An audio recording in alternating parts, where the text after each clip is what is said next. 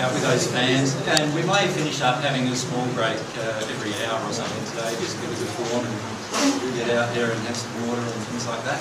Don't want anybody falling over in the session today. How was your Christmas and New Year's? Emotional. Emotional.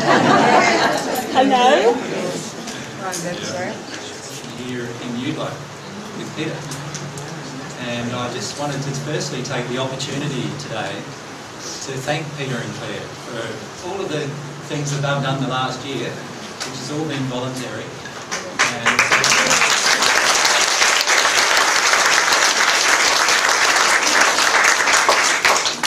because uh, you and I would perhaps never have met without Peter and Claire's involvement in our lives, in your life and in mine. So I'd like to thank them both for that. Um, there was a few things that I had to mention housekeeping wise. Um, one was, uh, what were they? Oh, microphone.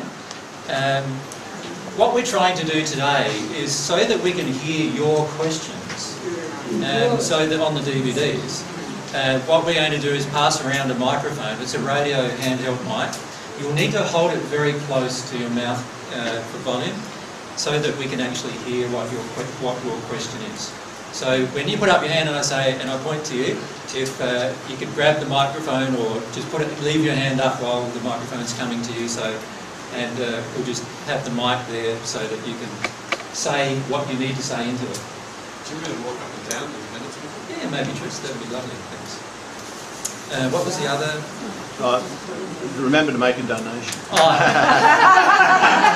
Peter says remember to make a donation. Uh, you don't have to make a donation, but uh, if you do want to, where, where is it, Peter? The, Uh, the box is outside, or if they want to make it on a credit card, we've handed out a slip. No worries. Um, and if you want to order any DVDs as usual, um, that's all available somewhere, I think, isn't it, outside? Just outside. And uh, Peter, again, a lot of this stuff Peter is doing at his own cost, by the way. So, so like, there's been like seven or eight or nine thousand dollars worth of DVDs printed already, hasn't there?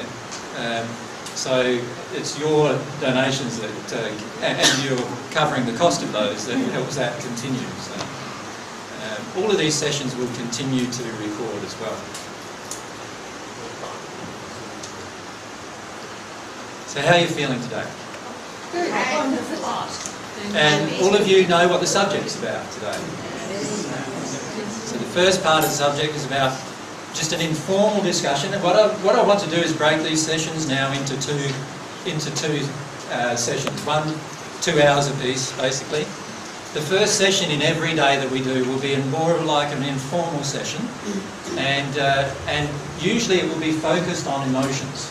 So it will be helping you connect emotionally, talking about emotions that you're facing and things like that. And I want to go through uh, what I've noticed has been many many people's experience on the divine love path, just to give some reassurance as well that when you go through certain stages in your own development, that uh, you understand what's actually happening. And then the second session will be more formal, and the subject of that is reincarnation today. Um, who managed to read the uh, document I sent out? It's a long document, 100 pages. I didn't expect everyone to read it. So some of you have. How many of you found that interesting? Found that quite fascinating? Yeah? Oh, I loved it. You loved it? Okay. So um, there'll be quite a lot of things that would have come up for many of you in that. So in terms of emotions and beliefs. So today we're going to confront some belief systems that, uh, that you may have and we'll try to deal with those as well today. So that's our day today. So the first thing I'd like to talk to you about is this process that happens of opening up emotionally. And most of you, and you will find, are still flirting with the emotional process. Is that how you're finding it? How many of you feel like you're totally in it, like totally immersed in it now? Quite a few, right? So there's a few. How many of you still feel like you're flirting with it, sort of in and out, in and out? Okay, so quite quite a lot of us are still flirting with it. And and what I would like to do today is talk about that, talk about why that happens and how that happens and what's actually going in, going on inside of you at the soul level, so that we can understand better what's happening so that when we come up with different problems in this process, and there will be problems with this process inside of you, when you come up with these problems inside of you, that you understand that other people are going through the same things, that you understand what's actually happening for you. So it's really important that uh, we cover some of those things. So what I've noticed is this. Remember quite some time ago, I drew two scales. One of them I called the, uh, the fear, truth scale, if you like. Remember that? And the other one, can anyone remember what that was? The pain, Pleasure. pleasure scale. Okay. So, every time, and remember what we said at the time was, any time the fear is greater than the pain, there is a high likelihood you will not deal with your emotions. Remember we said that? And then we said, when the pain gets greater than your fear, then most often you will start connecting with your emotions. You will start wanting to deal with your emotions. So how many of you have already noticed that happening in your life? You've noticed that going on? So quite a number. How, how it seems like you're afraid to deal, afraid to deal, afraid to deal, but then the pain gets so great that you just feel like you're forced into dealing. And then when you're forced into dealing, what do you notice about fear after that point?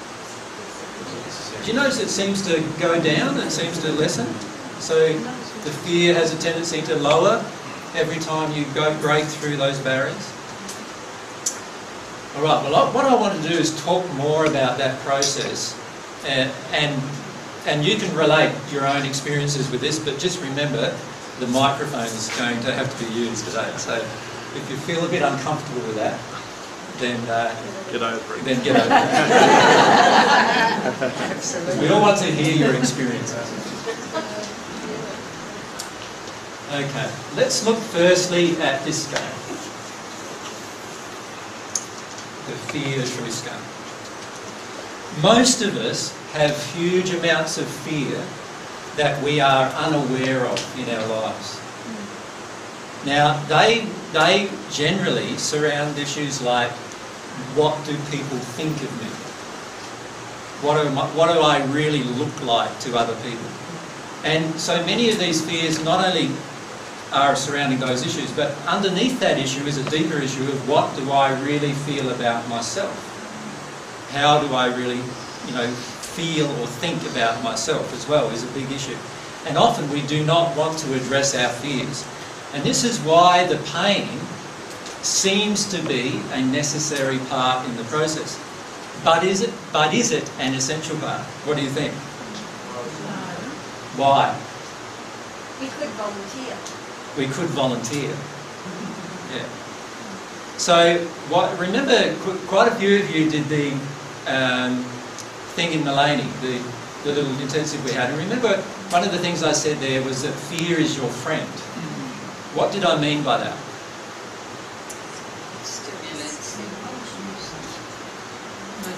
Anyone want to put up their hand? Can you remember what I meant by fear is your friend? Fire away. Uh, I could give you an example. On Monday afternoon, my boss walked into the shop and he said, I'm sorry, but your job is ending at the end of February. Yeah, I went into great fear. yeah, But then the fear was um, the catalyst for me to say, well, okay, I've got fear, so I'm going to have to really get into my emotions here and experience them. Mm. So on the way home Monday night, I yelled and screamed and I hit the steering wheel and I felt, and I cried a lot and I felt a lot better when I got home and then I cried some more when I got home. And then Wednesday, a friend told me about a job. I had an interview this morning and everybody keep your fingers crossed. In March, I'll be stepping into another job that'll be just perfect for me. So Yeah. it was it was a reminder to me to get into the emotions of it. yeah. And as soon as you get into the emotions of it, your law of attraction changes. So that's the thing to remember. If your law of attraction is not changing, and we'll have another informal session where I'll talk about the law of attraction, but if the law of attraction isn't changing, then it means you're not processing the causal emotion who attracted those events in the first place. So that's a very good example. So if you decided to live in your fear, do you know what I mean by live in your fear rather than go through your fear? Most of us, what we have a tendency to do is live in our fear. So remember last time we got together before Christmas, I said that we tend to go through this process of hearing the truth and the soul sings. Remember I said that? And then what happens after the soul sings for a while? The soul sinks. And why does the soul sink? Because we've got to really look sincerely at why it does. Because it's one of the major blockages for your progression, is getting out of that soul singing part, which is really wonderful, isn't it? When, the, when you're hearing truth and it's really resonating with you, it feels wonderful, you feel happy, joyous, you feel uplifted, you feel encouraged, you feel like you want to progress, you feel really enthused. But when the soul goes into the sink area, what happens there? Oh, I don't know if I can do this. You know, no, I want to avoid any person who's doing this.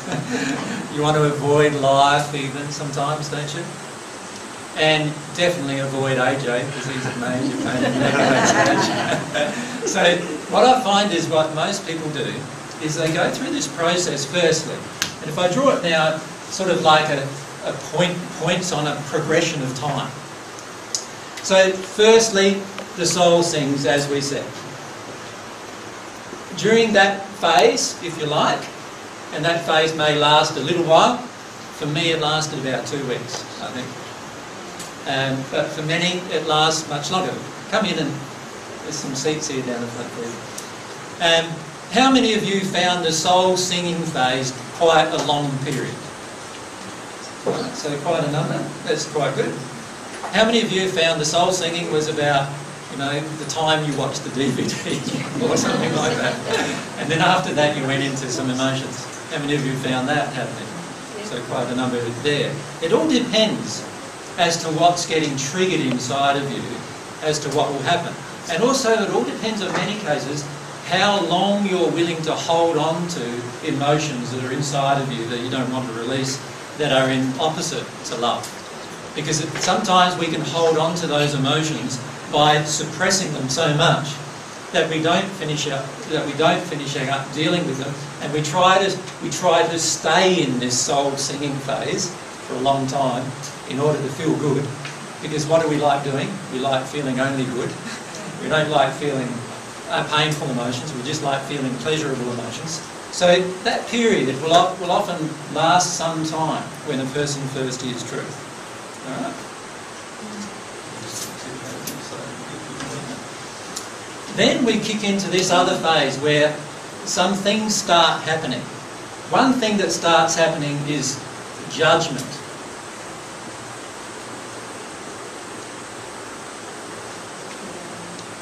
Now, how many of you have started the soul singing process, right?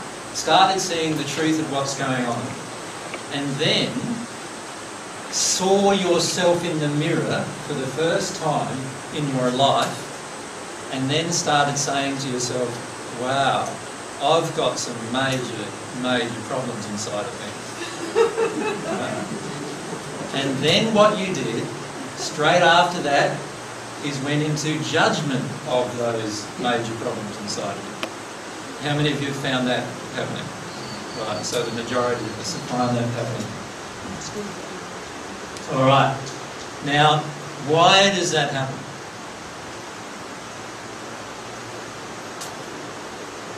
What, what, what's your idea of why that might happen? Away. Because we're conditioned to blame somebody and it's easiest to blame ourselves. Yes, that's very true. You will either do one of two things when you get into judgment. One is to blame everyone else other than yourself, or the second one is to blame yourself. Now, for most of us, when we were growing up, when we were tiny children, our, we finished up getting lots of blame from parents. So in the process of getting lots of blame from parents, we then learned to blame ourselves. And so we go straight away into this judgment of self. Now, judgment of self is one of your major problems that you will have in terms of your own resistance to dealing with emotion. Because let's, let's face it, for example, here, here's, here's something. Let's say during our childhood something happened with our relationships with our family and our parents and so forth, that we finished up having a, a feeling inside of us that we like children sexually. Now, how many people would openly admit to that kind of an emotion? Very few, eh? Because what, there's huge problems with openly admitting that in today's society, isn't there? Okay. Now, if you have that emotion inside of you, what do you do with that? Well, most of the time we'll go into judgment about it. If we're not acting upon it already, we, we usually do the opposite. We go into judgment about it. So instead of actually dealing with the causal emotion, which is underneath the judgment, what we finish up doing is staying in judgment, which prevents us from the emotional, having the emotional experience. Can you see how that works? Let's say you also have a problem with anger. Let's say inside of yourself, you've always condemned people who are angry. So how many of us feel anger is a bad thing? Like, really? Uh, I used to feel that quite a lot, so that. And then you've gone into the state of saying anybody who gets angry is a bad person. Just start going down that track. Now, when we when we get confronted in the soul singing period of our of this divine truth experience, if you like, what happens is we start coming to a full realization, a full picture of what we are. Then the next step is anything that's so-called bad in our own eyes about what's inside of us, we will now judge. And in the process of judging it, what do we do? We shut down the underlying emotion. We don't experience the underlying emotion. We ignore it. Does that make sense? And this is happening for many of you. This is why many of you sort of skip out of the emotions. Because instead of allowing the emotion to be present without judgment, most of the time there's huge judgment about the emotion before you even get to experience the emotion. Now, I had this ma major problem for many, many years of my own processing. And it took a long time before I realised that I had to do, with judgment, you were actually doubling up your work load and you're actually creating your own resistance to your emotions with judgment. When I say doubling up your workload, you first have to work through the issue of why you're judging yourself and then, after you've dealt with that, then you get to work through the issue of what you were judging in the first place, which is doubling up all of your emotional processing. If you can release judgment from the whole process, when, then what will happen?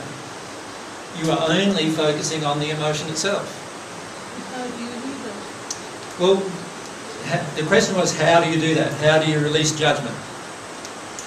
And there are a number of ways. How many of you feel that you've released judgment from your pro emotional processing work? Would you like to comment about how you feel you've done that? Would anyone? Thanks. Just, You're just going to have to hold it close. just by the recognition that it's a judgment has helped me. It's like, oh, I'm judging myself. Great. All right, so every time you've noticed yourself judging yourself, you've actually told yourself that you're judging it. You, you, you're recognising it. I just recognise that I'm doing it. Yep. Okay. So you're observing your own judgment of yourself. Yeah. Okay. And just right up the back. Yeah. I suppose I've done it, You'll have to hold it quite close. I've done it by um, being aware of the child at, at, the point at which, or just a general awareness of at the time when I took on that judgment or that hardness in my life and being aware of that, at the child, so I'm standing inside myself and observing it and then thinking, you poor thing, you needed to do that for a difference. And Yeah. so compassion comes into understanding why I need to make that choice. Good. So, so basically, it's having compassion for the fact that the child got all that judgment yeah. in the first place. Yeah. yeah. I needed to make certain decisions to myself. Why do I need to do that? Good. It's to save myself from something even worse. And so that understanding. Yeah. Good. Anyone else?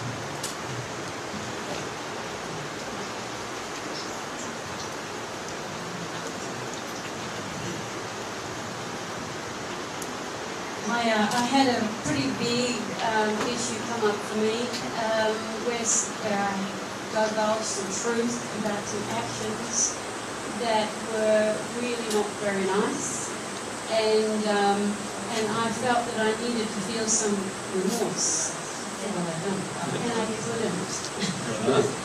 Why can't I feel this? And um, I looked through some of the notes that I'd written that you had um, given us.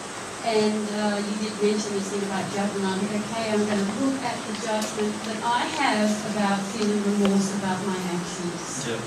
And apart from it being very emotional, when I just started writing up lots of things that seemed to be blocking me feeling that feeling, um, it all came tumbling out. And I did again have the judgment, oh my God, look at all this crap.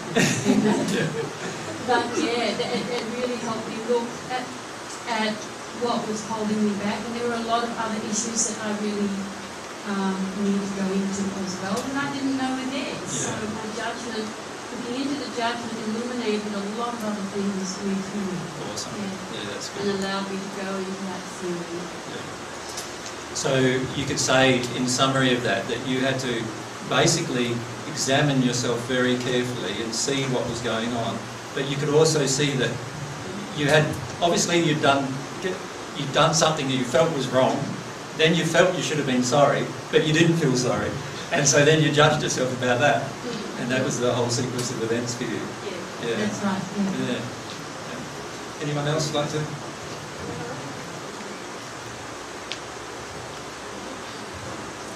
Um, I think I've, I've uh, my wife later has had nine years of um, depression, Yeah. and done a lot of work with her on um, judgmental behaviour. Yeah.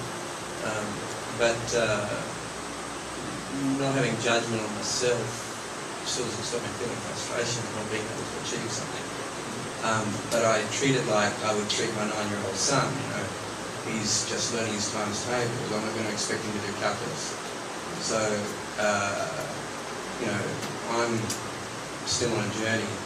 With many things yet to learn. So if I start judging myself now, expecting myself to do things that are high above, that's sort of Yeah, good. So basically, it's uh, relaxing with the learning process rather rather than expecting yourself to be perfect. Yeah. yeah. How many of you expect yourself to be perfect before you begin? Common emotion. yeah.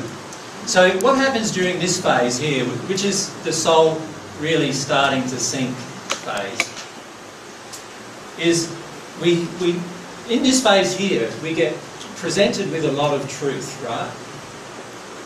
Some of that truth is universal truth. Other parts of that truth is personal truth. Now, universal truth is generally quite easy to accept. Why is that? It's because we don't have any emotional investment in it. Does that, that make sense, doesn't it? But personal truth, that's very difficult to accept. And the main reason why that is, is because we're so used to judgment. We're so used to judging everything that we hear about ourselves. And usually, what do we do when we hear something bad about myself and somebody said it? We normally go into, oh, you're a nasty person. How dare they ever said that about me? I blackban them from my list of friends. And, you know, we just go down this road, don't we, of trying to actually remove that person, in fact, usually from our life, in order to just avoid that projection or that truth, if you like. And so this is the main problem we're facing, is that we're actually judging, when we judge, we're actually judging the truth. Can you see that? And if you keep judging your tru- the truth, you are not going to feel emotions. The reason why is, to actually feel any emotion, we must first feel the truth. Now, does everyone understand what I just said? Because it's so important to understand. You must feel the truth before you will actually feel the emotion. You must actually believe and actually state and feel this truth before the emotion will flow. Example. And I'll give you a very physical example. You're standing in front of the mirror in the morning, and there's a bit of sleep, you know, in the corner of your eye, and you know, running down here from the night, from the night, and maybe there was a bit of a drinking night the night before, and you're looking pretty worse for wear, and hair's a bit of a mess, and and everything like that is happening. There's your picture right in front of you. What do you normally do with that picture? Well, this is looking pretty bad. Some patch-ups have to occur, right? If you're a woman, slap, slap on the mask maybe.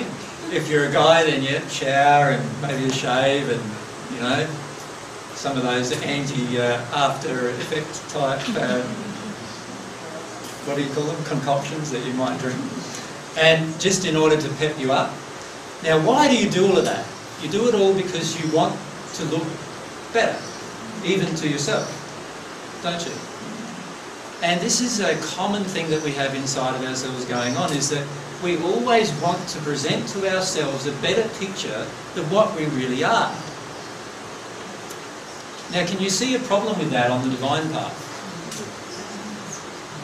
Yeah? Can you see that from God's perspective, what is God seeing? The absolute truth. Exactly as you are what they say, warts and all. You're seeing everything. That's what God's seeing.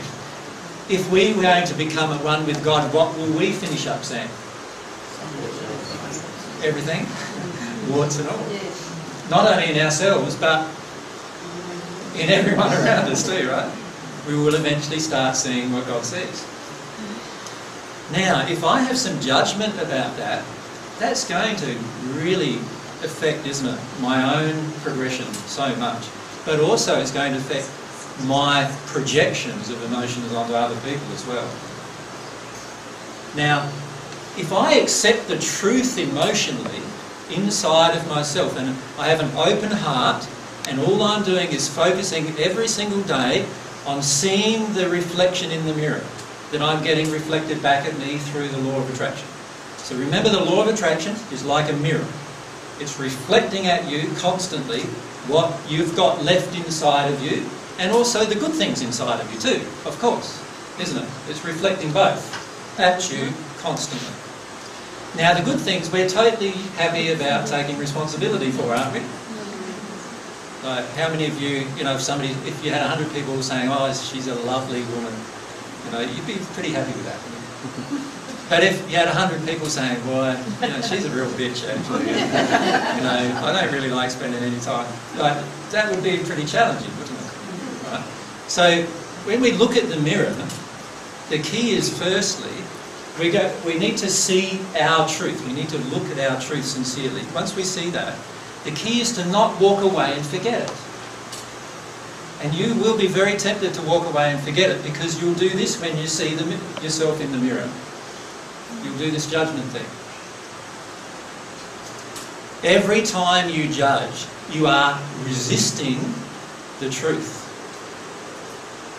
Every time you resist the truth, the emotion that the truth will open up will not flow. The emotion will only flow when you accept the truth.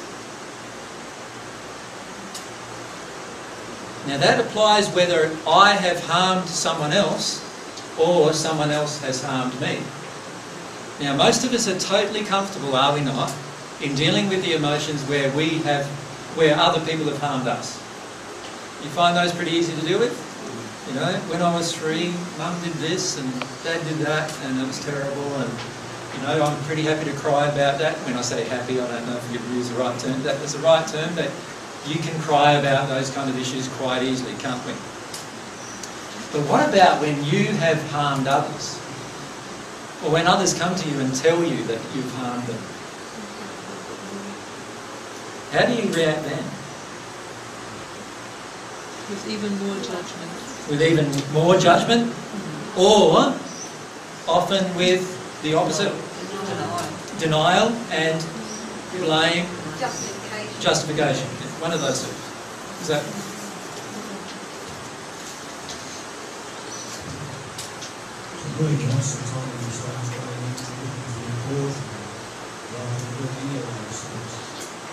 Yeah, that, this is the best time to look for causal emotion. The best time is to look for it as soon as soon as the event occurs, straight away flick into causal emotion. But for the majority of us, what we finish up doing is judging first which switches us right out of the causal emotion. It gets us right away from it. In the end, every single causal emotion within us began usually in our first 10 years of our life. Now, would you judge a you know seven-year-old child coming to you saying, "Mummy or Daddy, um, you know, I really felt like killing my the guy, you know, when I was at kindy today or at school today." Um, would you judge that? Wouldn't you just sit them down and help them work through the emotion? You wouldn't punish them, would you? You wouldn't slap them across the face, you naughty. You wouldn't do any of those things, would you? But how many times do you do that with you? Can you see the, you see why we shut down so much? So, in this soul sinking phase, one of the main reasons why the soul is sinking is because of the judgment that we have about truth. And not so, much the judgment we have about global or universal truth, but it's the judgment that we have about personal truth.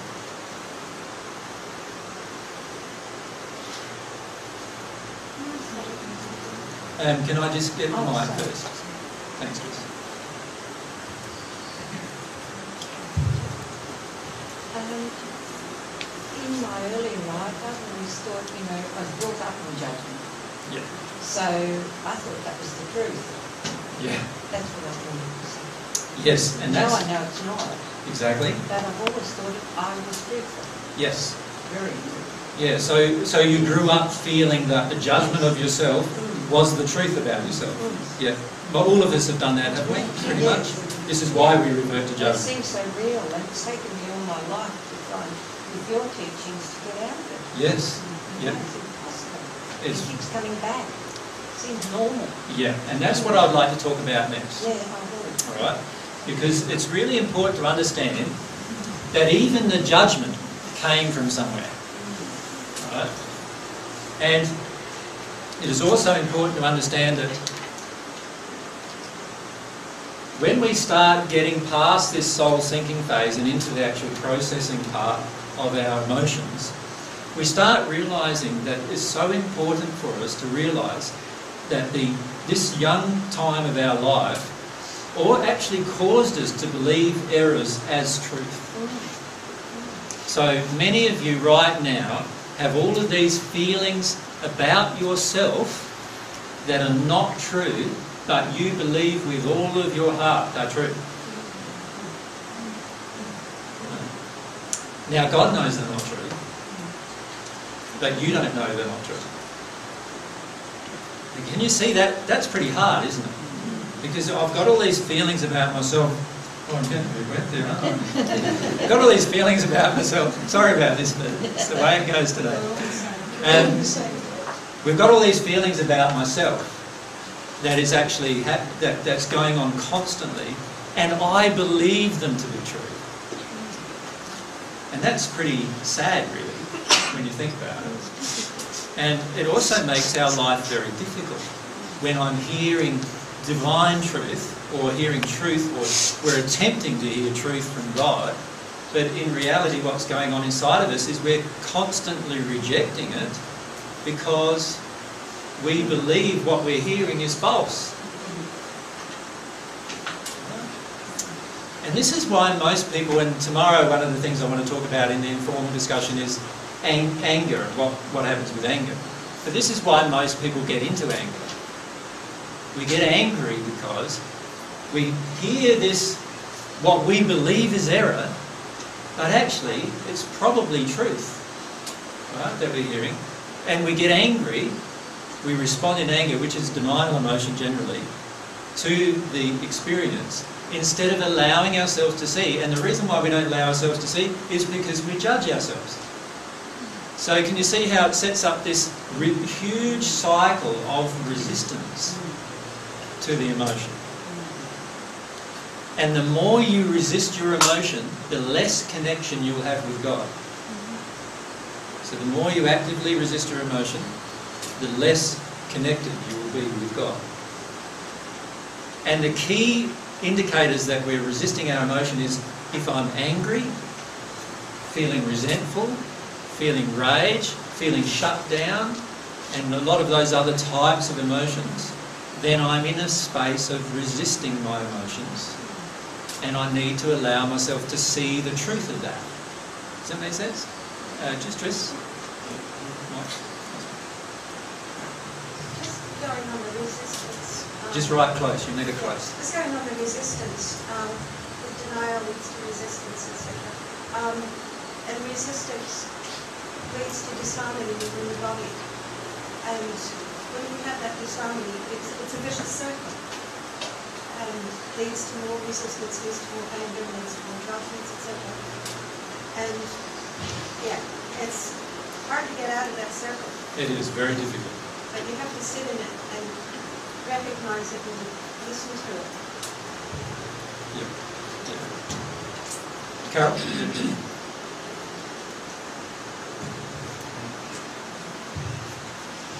AJ, ask people to speak a bit louder, would you? Okay, you just need to hold the mic. You'll have to hold the mic right by your lips. AJ, now I'm not sure if I'm denying my emotion. I think I was when I came here today. no, I think I might be. Yeah. Um, can I just give you an example? I um, knew on the day after Boxing Day when I did a five-hour drive home late at night from um, a relative's birthday party that I got flashed twice by the speed zone. I thought I was doing really well. I didn't think I was speeding, but I have been. And I thought, okay, I've got two tickets. And then I see big signs everywhere saying double the merits. I'm thinking, oh God. Yeah. Um, so I've been thinking they're going to come soon, but I was only going a little bit over speed, maybe they won't arrive. And then um, three days ago, two came from New South Wales. Now I know there's one from Queensland coming too. I didn't get the second flash. um, and um, So there's now three of you coming. yeah, no, I, I handled it by thinking, oh, I'm just going for a walk. I'll look in the mailbox and um, saw them there and thought, I'll just open one. I'll just leave them in the mailbox and go for a walk. and then I thought, okay, the next time I better get them out. Um, so I got them to my desk. So you left them in there for a day, did you? Yeah. I got them to my desk. And I didn't want to spoil the soul sinking bit. Yeah. It's my desk. Um, I've now read one. I don't know the other one's the same. And it's 12 demerit points. 12. Two of. Yeah, they were 360 zones. Which is was all your- night. Sorry? Which is all your points. This is all my points. I got one to come. And you got one to come. So I'm thinking, okay. But my reaction to it a while back would have been, oh my god, this is terrible. But my reaction to it's actually not been that. Um, I'm thinking, oh well, you know, speedo must be wrong because. Um, Keep going, keep going. This is- good. I just, no, I'm serious that it must be wrong because I did look at my speedo when I got one of the flashes. Yeah. And I was not doing 15 k's over, I know that. Yeah. Um, and I suspected for a But while. you didn't slow down. Well, I did Oh, after okay. that. I didn't see the second 60 zone. That's right. me off. But that's, I've sort of thought to myself, well, my brother sort of told me all different ways I can get out of all this, and I thought, no, I've got to be honest about this and say I was driving, it was me. Um, and, well, okay, so what's wrong if I lose my licence for a few months? Um, I've got to be slowing down, haven't I? That's the way it's going to go. So I've actually accepted it, so I'm worried now that I'm actually totally denying it. I don't really have a lot of emotion about it. I just feel that I'll be looked after and that I'm, I'm going too fast and I know that and that I need to slow down and my life is going to take that turn now anyway. And I thought, oh well, that's all right. I'll to just take that punishment. If I've got to lose my licence, I've got to lose my licence and find another way around it, but I'll be looked after, I'm sure. So, I don't know what You notice, firstly, Carol, that you're thinking a lot. Well, I tried not to think first. Yeah. The, the first feeling was, the, let's go back to the first feeling, Yeah. which is, you know, you open your letterbox and see them, and then you put it back down. Yeah. Mm-hmm. Now that straight away tells you that there's a fair bit being covered over inside of yourself. Mm-hmm. Right? And what happened from then to the next day when you pulled out your mail was that you intellectualised it all the way. Right? And in the process of intellectualising it away, you've come up with some really, really good arguments. but the truth is your law of attraction has just attracted 12 demerit points. So there must be an emotion. But, but AJ, my law of attraction in every other field is so good. No, see, see, now you're trying to justify that your law of attraction is good in all these other places, so therefore you, you can ignore this emotion. No, I was speeding. I must have been speeding. No, but that's not the emotion. Can, can everyone see just for a moment? It's just, we're going to have long chats about the law, the law of attraction at some point, right? First thing with the law of attraction, you will be able to reason yourself out of it really easily. You will. You can do that. You can choose to do that. And most of us do that all of our life. We reason ourselves out, reason ourselves out. Oh, but it was this, and oh, but it was that, and oh, but I didn't see this, and oh, but you know, we go through all of that that that whole process. But the truth is, these events were attracted by your soul emotion, not by anything else. Now, the key is to allow that soul emotion to be triggered by these events. Now, there's a big soul emotion in here that you are totally unaware of that I can feel about it the instant you said about the demerit points. As soon as you said the word demerit points, there was this big emotion inside of you that you did not feel that I could feel. And this will, I, and I want to say this to the majority of you, will be like this with lots of issues. There will be lots of things go on in your own processing where you are, you feel totally unaware of what it is. And then all of a sudden, you'll come to a point of awareness, a point of what I would call intellectual realization that there is an issue. At the moment, you are not even allowing yourself to intellectually realize there's an issue because you're using all of the tools that you've learned from childhood about skipping over the law of attraction in order to avoid the actual emotion.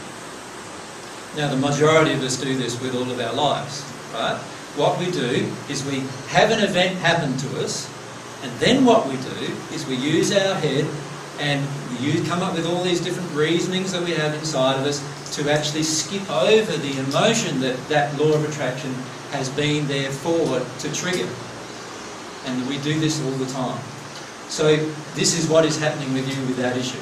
You feel here, you think here actually, that you've dealt with this issue. But if you had dealt with this issue, you would not have actually got any fines. Can you just justify yourself? yes, you can. I, I've decided I, I, I too much and that, and that my life is too fast. And one of the reasons I left it in the mailbox is because I was going for a walk and I thought, this is the week I'm going to look after myself. I'm going to go for a walk, I'm going to relax. So stuff the fine, I'll leave it in the mailbox. Um, what's the emotion? Give me a hint. Uh, what's the feelings you have inside of yourself about authority?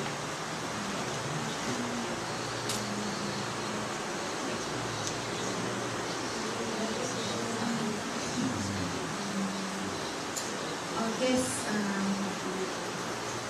well, I guess, I guess I've had to do with a lot of authority. With Can I, building my can I just stop you for a moment?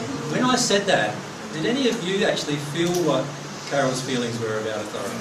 Yes. They're out there to I just wanted to point out that that you can feel it when you say a word. There's a trigger word that goes on, and straight away there's a feeling that you feel from that person. And by the way, many of you have the same issue with authority. All right, so so let's go on. Okay, my, my feeling then is that I don't think that they're always right. So, All right. The truth is, can I tell you how you really feel about authority? Yeah. You feel like rebelling against authority pretty often. In fact, the majority of the time, if you can get away with it. Okay, that's the feeling that's going on inside of yourself. Now, there's a reason for that. There's a deeper emotional reason inside of yourself about that. Can you see what it might be related to in your childhood?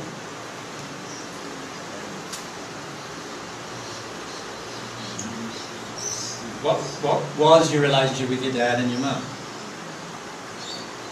What kind of relationship? And who was the authority? Who, who was the authoritarian? Nobody really. There wasn't anybody around most of the time. It was mostly me. when they were around? Um, I, oh, it was just a big game, really. It was a big game. You know, one thought they were, and thought they were, and it was just, And can you see how that all relates to this? What, how many of you feel that all the laws are just a big, like, superficial game? How many of you actually feel most of the laws that we have in the country are just a big superficial game? I, I do. and they are. The truth is they are. There are some laws that are beneficial, but what, what are laws generally doing? They are dealing with effects, aren't they? Very rarely dealing with causes. And because they're very rarely dealing with causes, of course they're just a game. And so what feeling then arises within you? I'm not playing this game, right? I'm not, I don't want to play this game. There's a lot of emotions in you about this, Carol. So much that you attracted three, three fines in, what was it, one day? four hours. Four hours, okay. So there's a, some very deep emotions in you about this particular issue that you are now skipping over into the intellectual role of skipping over and saying, oh, but I don't have much trouble with it. If I lose my licence, I lose my licence. And, you know, I'll be able to work my way around that. And, you know, there's so many things going on inside of you intellectually, but skipping over this really, really large emotion from your childhood. It's also an emotion that's preventing your relationship with God. Now, can anybody see how that's related? An issue with authority preventing a relationship with God. Can anyone see what's going on there? See, if we see God's laws as authoritarian, what are we going to want to do to them? We want to break them, don't we? You want to break them. And how many of you feel like it's okay breaking God's laws? That you get away with it? Now, most of us won't own up to that, right? But the truth is, most of us have that viewpoint inside of us. We do it all the time. We do it all the time. Yeah. Like, for instance, let's look at the law of love for a moment. If I loved animals, how many of you have pets? How many of you would consider eating them? But yet, how many of you who have pets, who wouldn't consider eating them, eat a cow? So what's that? Isn't that a feeling of rebellion against the law? On one hand, you love one animal, but on the other hand, you'll eat the other. Isn't there an issue there? Isn't there some kind of inconsistency there? Dogs are nicer than cows. Sorry, dogs are nice to tasting, did you say? Sorry, I just- Got me. not really, not really. Can you see that, that's just one minor issue that I've just raised, but can you see how quite often on a daily basis we are being rebellious? We're being like children who want to break the rules. Where did that emotion came from? It has to have come from somewhere, doesn't it? And so generationally, often we have these emotions impressed upon us, and these kind of events are there to actually trigger those emotions so that we can release them, so that we have a totally different viewpoint to authority. And in the end, so that we have a totally different viewpoint to God's authority. Because the truth is that God did create laws. Some of the laws are a bit silly? actually? Sorry? What if the laws are a bit silly? And um, who has the right to decide whether it's silly or not silly is an issue too, isn't it? But even if they are silly, then how about constructively addressing that issue compared to, you know, just breaking the law whenever you get the chance? Like, so, for, for example, many of us feel the taxation laws are silly, right? How many of you feel like you're really happy having like third of your wages Half. or half of your wages or whatever go? Not many of us, right? So most of us feel, but how many of us still pay the tax? All of us don't we, pretty much. Now, why is that? The of not paying taxes. Okay, we're not, we're not willing to go through the truth of what would do if we really addressed this issue uh, individually or, or collectively. That's, that's what it is. And these kind of issues are very, very important issues in our relationship with God as well. Because from God's perspective, there is lots of laws that God has created for the smooth running of the universe. And all of us have this tendency to feel that we can break any of them because we got free will, right? But if we really loved, would you want to do that? Because all of God's laws are based around love. So if we really loved, would we want to break those laws? So these are emotional issues that we need to address. So the key thing looking back over this issue for yourself, Carol, is to go into the emotion that was triggered once you realise you were going to get fined and go deeper and deeper into this issue of authority. Because it's a large issue for you and in that there is this feeling or spirit of rebellion in you that's actually interfering with your relationship with God as well. And so all of these law of attractions are there to help you build your relationship with God in the end. And that's the key thing to bear in mind. And it's quite a large issue because you'll get some quite large fines coming, I'm sure. and the possibility of much longer than three month uh, license uh, going. And you will start maybe reflecting more emotionally about the issue of authority. One of the other issues of the rebellion is that very often... Oh, sorry, James, can you just, yeah, finish this? One of the other, the, the other side of rebellion is an often denied but ever-present fear of repercussions arising from the rebellion. Yes. That's right underneath that. That's right. So often we've got deep fears that we need to release with regard to authority as well. Very much so. So how many of you only obey the law because you're afraid of getting caught if you don't? Right? How many of us feel that way? Like, so how many of you would gladly speed if there wasn't a law stopping you? So quite a lot of us, right? So, so can you see what's going on? We are afraid to be ourselves because of the repercussions of the law. And so obviously we need to deal with some fears there too. So there's a lot of issues in that one issue that you've just raised. Now, what you've done with it is intellectualise it all. And this is a thing that, that most people do on a regular basis with most of their law of attractions. So if you sit down on any one day, it's very rare for us to have a whole day where everything happened exactly as we wanted. Have, have, have any of you had a day like that?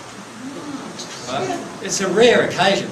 Like you look back on the day, if it happens like that, think, wow, that was an awesome day. now, that will happen more and more as you deal with your emotions. You'll have more and more of those kind of days. But the majority of us don't have those days, do we? What we have is all right from the moment we get up in the morning, something goes wrong with the kids, something goes wrong with the car, something goes wrong with this, something goes wrong with that. And these are all of our law of attraction, pulling in all of these events, telling us that there's emotions in me right now that I could choose to connect to if I wanted to and work my way through. And you know what I do with them most of the time? I just skip over them with a bit of mental, mental gymnastics and I'm in a new space and I don't need to worry about that. And you know what happens tomorrow? Often even the same thing. Often even the same thing. And certainly in the week or whatever. It even, you will notice if you're observant about the law of attraction, the law of attraction is a beautiful law, but if you're observant about it, you will actually notice right down to tiny little time frames in your day what's going on, what you were talking about, what happened when you were talking about that. All of these things. When you injure yourself. How many of you just, you know, little cut on your hand yesterday? Or a little cut on part of your body yesterday? I, I had a, a number yesterday.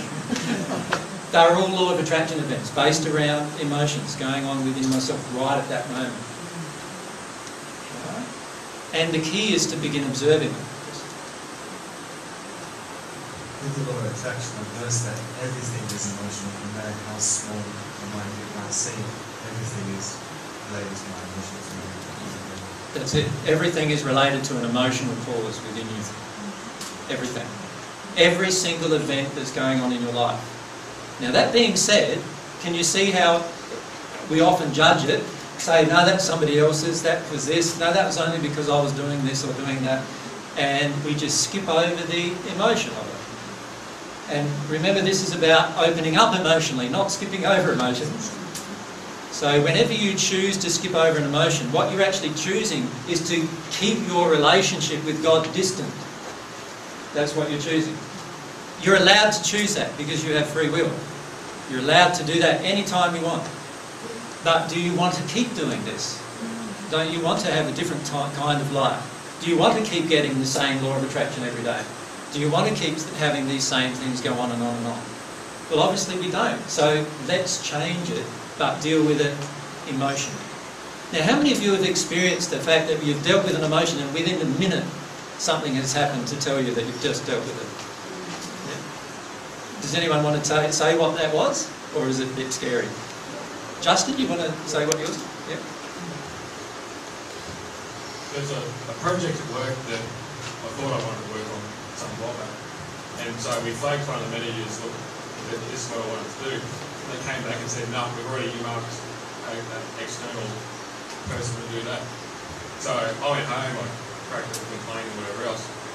And then last week I started getting into some self-worth stuff. And I thought back to that and it was around, and at the time it was around, they don't think I'm good enough to do this. you know. And I didn't even get into the emotional process fully, but all I did was acknowledge it and I started to feel it. The next day, they came back and said, oh, the manager's changed their mind, do you want the job? Do you want that project? Yeah. I went, yeah, that'd be good. So, so even even just the intellectual realization and a little bit of the emotion, straight away, things change. Yeah. So you will find this happen on a regular basis in your life if you deal with the causal emotion. If this doesn't happen to you, then it's because you are not dealing with the causal emotion. There's no other reason. No other reason. Remember, the law of attraction is like the mirror that you get up in the morning and you look at your face. And you see, you know, those marks and those blemishes and, you know, you can choose to actually feel them.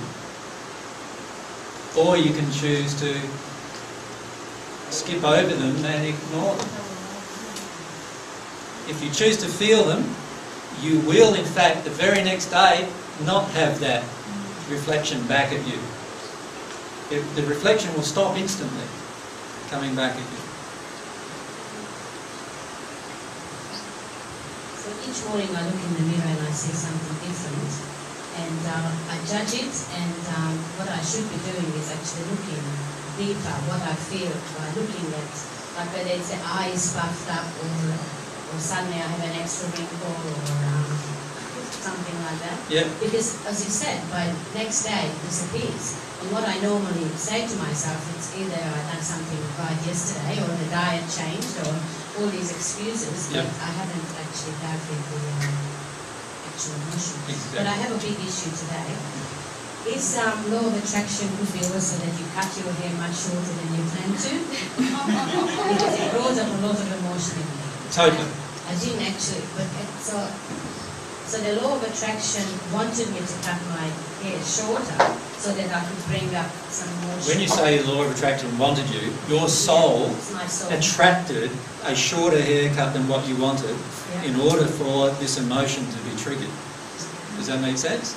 Now you can choose to get into it, cry. How many of you have had that? A haircut that you didn't want and you're really upset? A lot of the women will do this. That's great. Allow yourself to connect to that emotionally. And if you connect to that emotionally, you'll find all sorts of issues about unworthiness and lots of very, very core issues. Just driving here is like a whole lot. Yeah. Even not thinking that it's related to haircut. But it all is. That's right.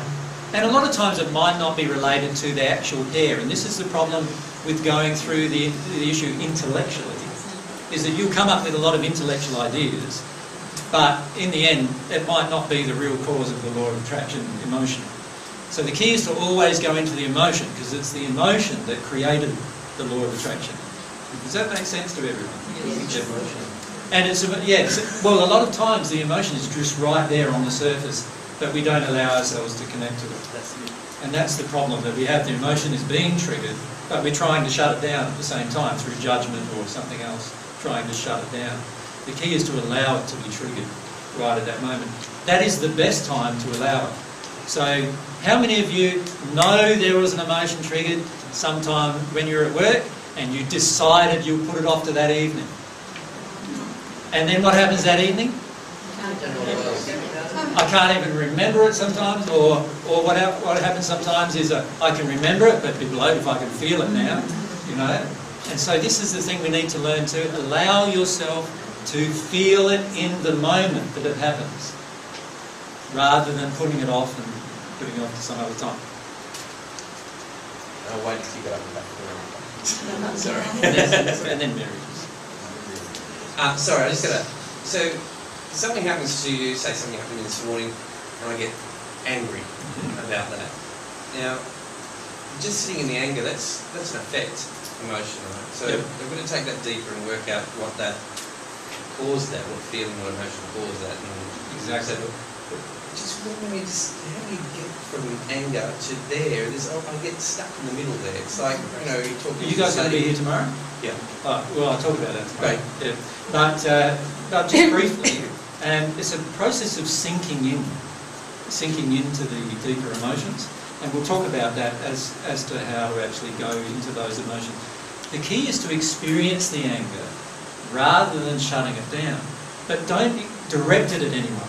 Just experience it. And, and keep on saying to yourself while you're experiencing it that there's something underneath this that I'm trying to connect to as well. So, so what I do, like somebody mentioned earlier, bashing the bashing the steering wheel in the car, screaming and getting upset with you, because what that does is that's expressing the anger right there and then, but without actually pushing it onto somebody else. And it's experiencing the anger. When you experience the anger, you're now in the truth about the anger, which means the emotion that's underneath the anger will flow. And you'll find that if you allow yourself to do that, the emotion underneath will flow quite rapidly generally. Now, some people have had to do that for three or four weeks, right? Every time they've been angry until the emotion underneath that anger flows. But after you've done it once or twice, there's a lot less resistance to it. And so you get into the stage where you don't even have any anger and you get straight into the underlying emotion. Remember that anger is the resistance block. And a lot of this process is about getting rid of resistances rather than feeling the emotions. Can you remember what you wanted to say then? Oh, yeah. Uh, but I was going to say something that helped me with anger is um, recognizing that it's, this is my choice to feel powerful in this situation. So perhaps I'm avoiding a really powerless feeling. Um, I was just going to say. Hit in the head this morning, actually. that applied to that applied to this morning. didn't Yeah, it? yeah. yeah, Yeah. yeah. Anger. Everyone heard that anger is a choice to avoid emotion, other emotions, So- and we'll go through that tomorrow. Not far away. I was going to say about law of attraction. Yeah. Um, that it was really important realization for me to, to sort of recognise, okay, I've got all of this stuff inside of me, and every single little event is law of attraction to help me bring that out. And every time I ignore a little event or a little opportunity, it's only going to come back, and it's likely to come back in a bigger and better way because I already ignored it. So Yeah. it's kind of a perfect system. I think. Yeah, it is a perfect system. How many of you have had that happen, where you've ignored a little law of attraction, ignored another little law of attraction, and on, and all of a sudden you have a big hammer, and then uh, Tris? I've set the intention to feel my emotions, to express them. A couple of weeks ago, I went for a walk on the beach, beautiful, long, flat beach. I said, okay, emotion, come forward. Nothing came forward. Twelve kilometres later, still nothing. And then I started to think about intellectualising what could be causing emotions that I'm expressing. So I sort of produced these little signposts, intellectual signposts, and started to imagine rabbit holes. And I'll these signposts above the rabbit hole. And I decided to dive down. And away we went. Yeah. The last kilometres of the beach. Oh, awesome. So it's a bit like Alice going down. You know, you Yeah. Yeah. It's okay to use the signpost? It's, yeah, and this is something I'd like to talk about, the intellect. The intellect is very important, actually, in helping you connect emotionally. See, we've talked a lot about the intellect helping you away from your emotions, but we haven't very much talked about the intellect helping you into emotion. And the kind of thing you just suggested is a way to use the intellect to actually help you into the emotion rather than out of it. See, if you have a belief in your soul that you want to get to the emotion, you can now use your intellect, and that intellect is a tool God gave you to use to help you connect into the emotion. Now, um, Brian, you, you had a similar experience really with your intellect, using your imagination, wasn't it? And this was the case for yourself, You're using your imagination, imagining certain things, and uh, your spirit guide prompted you with the rabbit hole analogy, right? And so you went with that, and then the thought came to you to dive down one, and straight away you were starting to get into the emotion. That whole thing happened through your intellect being motivated, but under, underlying that was a desire, a real desire, to actually get into the emotion. A lot of times what we do is we tell ourselves we have a desire, but it's not until we really try, like you've done there, where you walk for 14 kilometres or whatever it was, before you get to the last few kilometres where you're actually connecting. It's often not, not until we really try or really seek that we get the emotion. So we've got to be really sincere with ourselves, right? AJ, can I relate that? Yeah, sure. Thank you.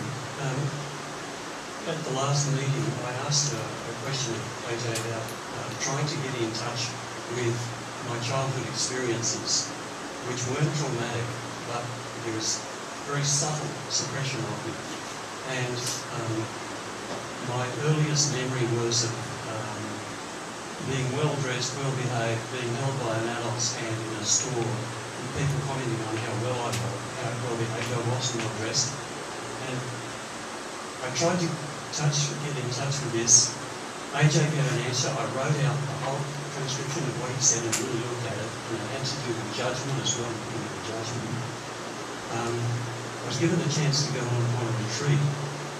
Um, and the way I actually got to this and then beyond it, and I've had no success, was to try and use my intellect to imagine this little boy being in a store in this situation and what it felt like for the little boy to not to be able to go and run around and play and do what it felt like. And um, the first thing I felt was I could feel myself coming out of a state of like freedom as a little kid into feeling judgment and it was like a feeling of loss of innocence. And there was grief associated with that. And it progressed from there. That, that, I actually had to use my intellect in the form of imagination to even begin. And after that it got I started shaking, uh, crying, talking to mum God, all sorts of things happened from that, but I had, I had to get use that. To That's it. So um, in the, I've written some stuff that was posted on the net, and I'm not sure where it is now. Um, I think it's called under, under Divine Love, Repentance and Forgiveness, and I think it's under those sections. But I actually outline the process of intellectual realization and then the process of soul realization. And the majority of us need to go through an intellectual realization before we go through soul realizations. And the reason why is because we're using our intellect so heavily to deny that we often are skipping out of the emotion. So we've got to first have the realizations intellectually. Now, one, in, one realization intellectually that's really important for you to have, it's really important for you, Carol, in this case, to have, is my law of attraction tells me the truth all the time. That's a really important intellectual realization to have. My law of attraction tells me the truth all the time. Every single the front, the front lights on at least. I can see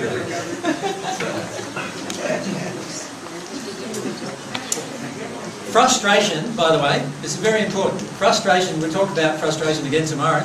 Frustration, though, leads you to mountains of emotions. Trust me. Now, in, in Peter's case here, the frustration was they're not speaking loud enough. Right? First thing, they're not speaking loud enough, kicks in. Then where does he go? He tries to correct it. Right? So he went over to try to correct it. Then this went off, another frustration. Right? Can you see how your law of attraction is creating frustration events? I can see. okay, I accept what you're saying, but I, I don't know what to do with that. Okay. Can you speak up a bit, please?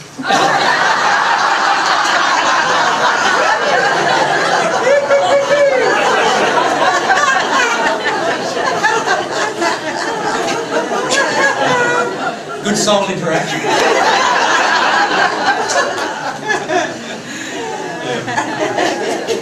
So, so what do we do with it? What we usually do is they, the, the projection was, they need to speak up louder. So where does the frustration get focused?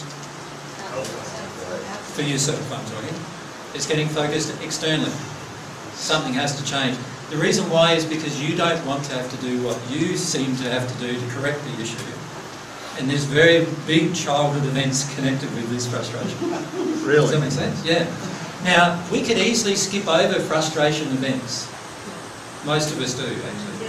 Don't we? How many times is something mildly frustration, oh, well, you just, and away you go, something else. Dismiss it constantly. We generally dismiss frustration events more than we dismiss almost any other events. Because how many of us like feeling frustrated? Not a very nice feeling.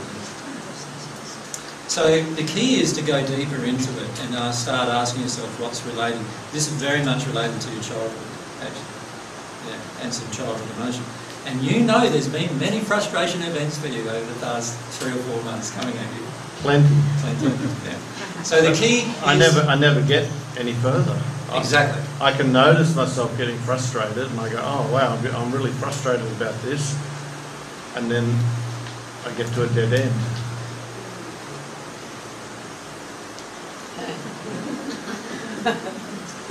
I'm just reflecting.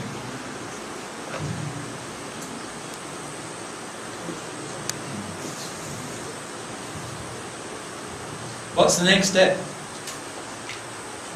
I've acknowledged it here. Start feeling the frustration. What do we normally do with judgment of that? We don't want to feel frustration. If you're already frustrated, aren't you feeling the frustration? uh, frustration covers huge amounts of anger. And, and, and we need to step into that anger.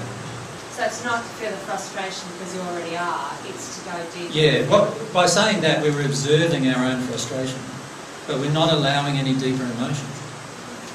Right? And it's the deeper emotion, the, the frustration will cover some really, really big emotions. Really big emotions. Often of even rage. Often you'll actually step down and step down and So, actually get to rage. Master, what would you have done in my situation?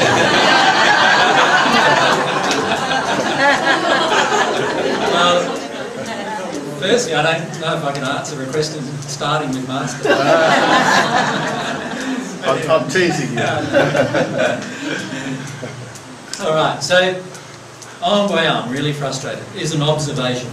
It's not actually feeling the emotion. It's an observation. It's an intellectual observation. Now allow myself to really sit in the emotion. So take time out now to sit down by yourself.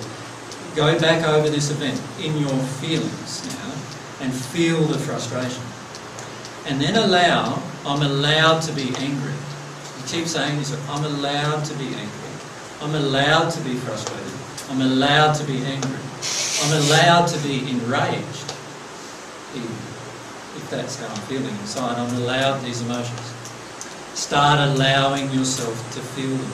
At the moment, there's some very strong judgments in you because of the lots and lots of training that you've had to, to get over the frustration events intellectually, to skip them over. Remember, we've talked about that privately, where, you know, so we're here at this point and we skip over and we become calmer here, but there's all this emotion inside that we just didn't process. And it's still there, of course, still creating every frustration event. And that's why we keep getting frustration event, frustration event, frustration event, over and over and over and over and over again, until we get out of, oh wow, I'm really frustrated, down into, oh, well, I'm really angry, and oh, wow, like I want to bash the thing, and you actually go out and do that. You know, you actually go out, get the baseball bat on the punching bag, and away you go. And you yell and scream and swear and, and allow yourself to experience the frustration. And then when you do that, you'll find within, usually within a few minutes, like for me, it's usually within 10 seconds, I'm in the grieving emotion. And then usually I just collapse and then I'm in the grieving emotion. So it's rare, rare now for me to go through that. But uh, I knew one guy who took three weeks doing that, four hours a day, before he felt his first grieving emotion.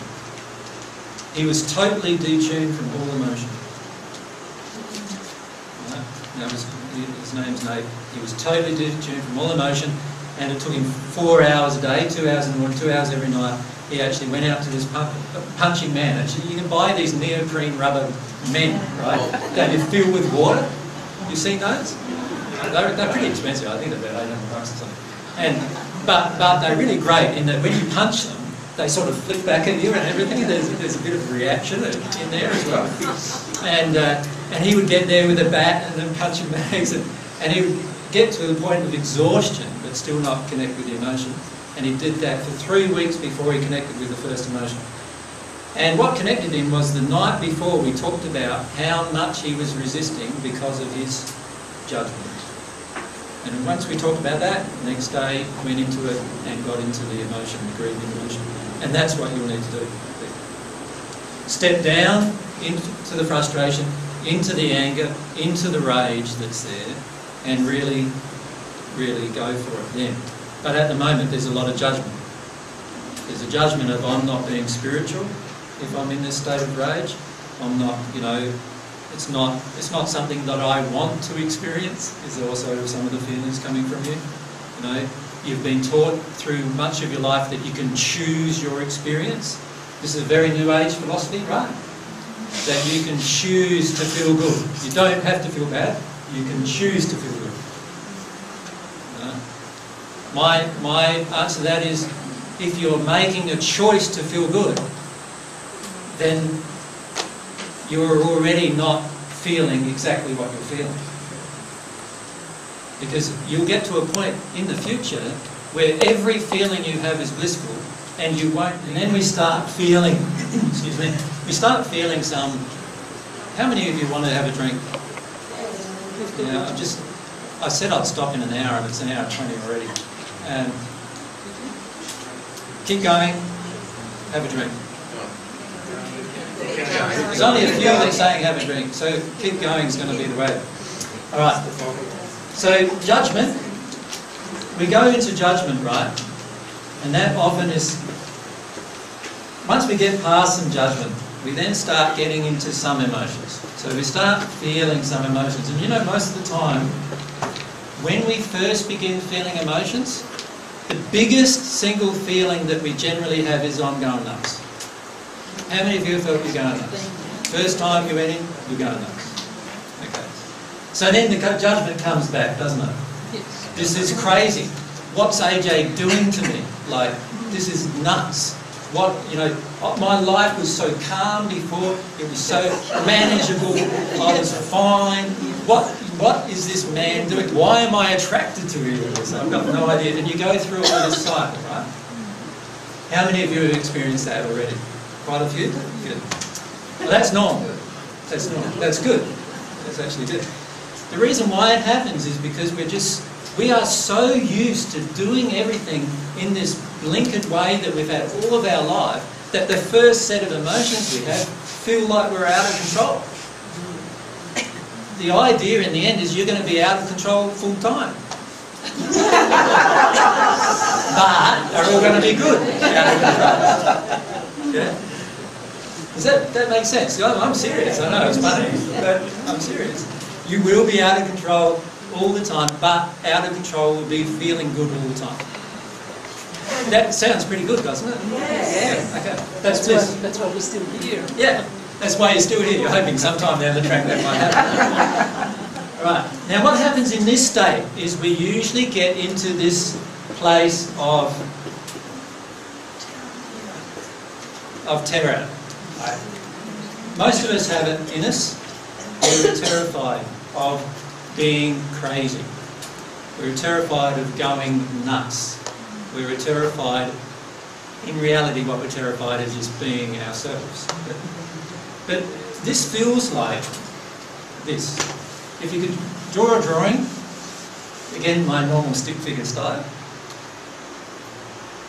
Here's terra firma. Here's the cliff. Here's little old me. Every one of you on the divine path will get to this place where it feels like if you go forward, you're going to fall off the edge of reason. Every one of you will go to this place at some point. And you know what most do when they're at that place? They turn around and head back to what they were doing before. It's very hard also to stay there. Can you imagine? It's like, imagine if you had, what's that fear of heights called? Vertigo? Agoraphobic. Imagine you just stood on the edge of a cliff that's a thousand feet drop right in front of you. How many of you would go right to the edge and just stand there with your feet at the edge, your toe right at the edge, and just look down? Not many of us would do that, would we? But this is what you're doing emotionally. And it's quite a scary place to be. To be in that place where you're just standing on this edge, looking down. It's going to be very, very hard for you to stay in that position too, isn't it? Can you see that? It's going to be, it's either one or two choices at this point now, isn't it? One is going right and just falling off of it, or the other is walking away, stepping back, stepping back. Now what happens I find when most people get to this point, they step back, then it doesn't feel good again. They feel like they've lost ground, so they step forward, but they get to the edge of, and then they step back, then they step forward. And I've seen people go through this process for three, four, five years even. Right, step forward, no, step back, step forward. And many of the spirits here in this room with us today have gone through this process for tens or even hundreds of years. Stepping forward, stepping back, stepping forward, stepping back. You can see why. It's a terrifying place to be at that edge. When you actually allow this to happen,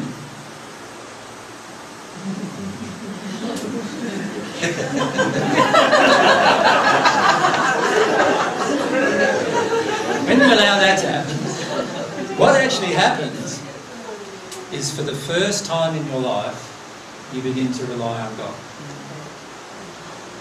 Really rely on God. That's the first time in your life that you're really going to rely on God. Up until that point, you're just talking about it, trust me. Right? When you throw yourself off the edge is when you really begin to rely on God. Now, throwing yourself off the edge is not a process of sort of like self-destruction.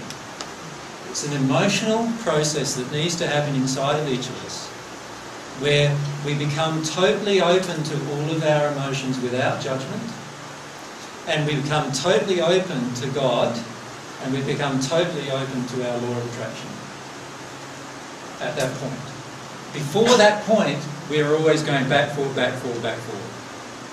Or we're stepping towards that point. Now, the walk towards that point is about dealing with what I would call blockages, blocks. So up until that point, what you're often doing, and this is why many of you feel at times, oh, I'm not really making any progress, like I haven't had a major emotional release in the last hour, so... no, no, I mean, last, most of us it's the last three weeks or four weeks, we, we feel like we haven't had a major emotional release for some time, and so then we set into judgment about that, don't we, generally? We say, oh, you know, what's going on, what's blocked here, I can feel this blocked, but I don't really know what's happening. And we get into this state where um, we're actually feeling we're not making progress. How many of you have felt that? Where you're not making progress, a bit frustrated. That's a judgment, isn't it? Yeah, so there's another judgment. Anyway, so... so it could be the truth. It could be. it could be the truth. But judgments are rarely truth. Is it, I'll speak that, is it only a judgment if we go that the block is bad? And no, sometimes our blockages can actually be what we view to be good experiences. For instance, we might be holding on to a family member that, that we really, really love, and so by holding on to this family member, we may know that that family member is going to condemn us if we make the next step, and so we're holding on to something that we believe is good. So blockages can often be stuff that we believe is good, No. but that's not what you meant. No, it's not. It's just like recognising a block Yeah. need not be a judgment. Oh, of course. Yeah. Nothing, remember I'm saying nothing should be a judgment Right. in the end. Yeah. Block, blocks are just, if we, if we judge our blocks, then we've got another layer on top of them blocks, yeah. It's far better just to see them as blockages. I think that's what Peter might have meant when he said it was the truth. That Yeah. there is a block there. Yeah. No wonder. So blockages are things that we need to release. Blockages are often in the form of beliefs. Do you know what I mean by beliefs? Like, how many of you believe that your life is out of your control? Really here, you know? Most of us do at some point believe that. Right? How many of you believe that your life is in somebody else's control? Many of us believe that, don't we? If we believe in authority, do, like with Carol, Yep. Yeah. definitely. Certainly. And how many of us believe that the law of attraction happens to me because God's a punishing God? A lot of us have had that belief, haven't we? Many of us, many of you have that belief right now, and you're not going like this actually. But many of you have that belief inside of yourself, right? And the reason why is because in our childhood, our parents were punishing every time they judged us as doing something bad. They then usually punished us for doing that bad thing. And so now we have these beliefs. Now, blockages are often in the form of beliefs. And you need to allow yourself to release them before you'll process the emotion. In other words, you'll need to come to realization of the beliefs that you have that are blocking your emotion. So how many of you believe that if you cry, everyone will look down on you? If you cry here. Now let's ask the question, if I cried at work? Right, so you can see how one, like here you might feel more comfortable, right? Because we're talking about emotions. But at work, a lot less more comfortable, yes? How many of you would find it easy to yell and scream and rage, bash in a thing if you were at work? We have a punching bag at our work. You have a punching bag at your work. Awesome. In the end, I can. In the end, I think that that the majority of workplaces in the world will finish up having punching bags, baseball bat, you know, all these different methods of helping you deal with your rage. At the moment, that's not the case, though, is it? So, so we get very uncomfortable with dealing even with our blockages. The key is to understand, oftentimes these periods of time where we're not feeling an emotion is the period of time when you're actually dealing with a blockage and you're not conscious of it. The key is to become conscious of it. To become conscious of this period being a time when you're actually dealing with a block and to ask yourself what the block is. Is it judgment? Is it resistance? Is it whatever it is that's causing you to stay away from your emotions? Allow yourself to become conscious of your own blockages. Make sense? Let yourself do that. When you become conscious of your own blockages and you deal with blockages, you're stepping further and further towards the precipice. Sounds inviting?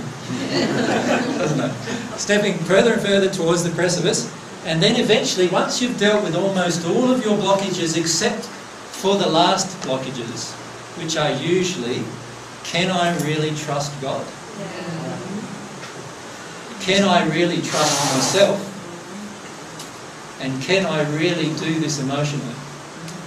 Right? And once we get to that point, now we're at the precipice generally.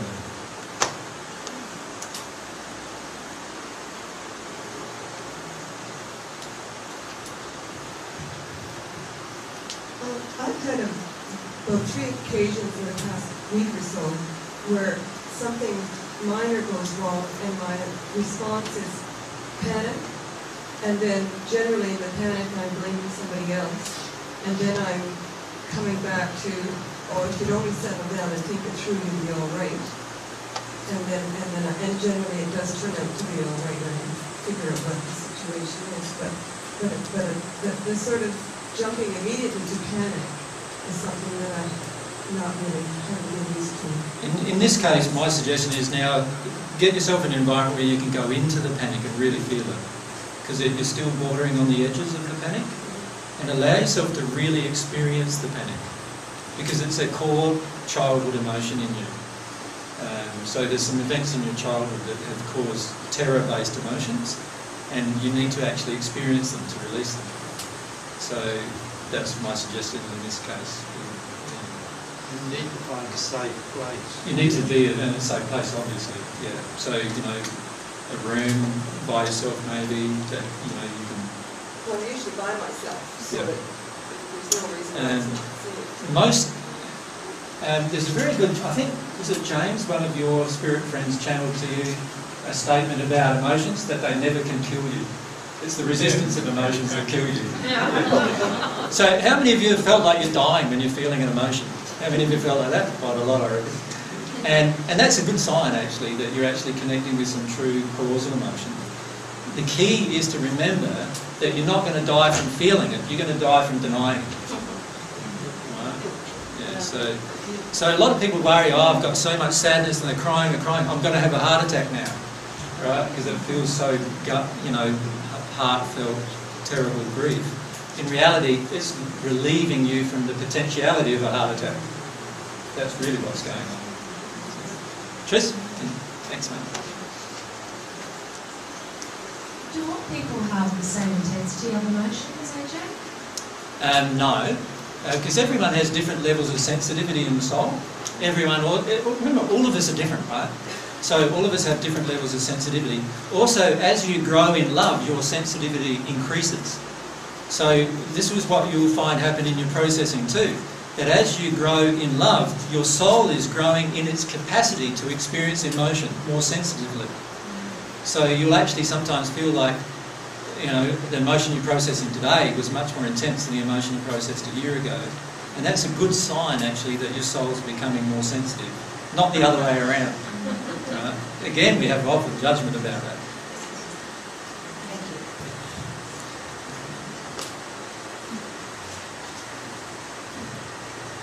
Um, AJ, last night I, I couldn't sleep a wink, and um, I have a skin condition when I get upset and frustrated, I, I go for it.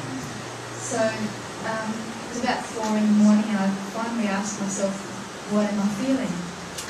And um, I, I identified it as terror. Um, so I, I just stopped scratching myself and just tried to calm myself down but I couldn't go through the door. I couldn't feel the terror. I knew that I was feeling it, but I couldn't actually feel it.